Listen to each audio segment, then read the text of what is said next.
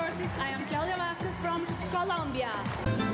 National Costume Competition winner was Miss Colombia, Claudia Elena Vasquez. She takes home $1,000 and a Miss Universe trophy. One award that